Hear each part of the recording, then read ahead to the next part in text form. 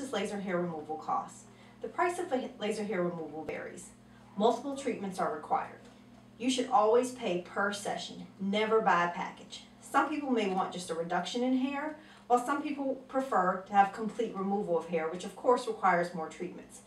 Doctor owned and operated laser centers typically provide their prices on their website or over the phone. If a business is reluctant to, to provide prices or requires a package, beware.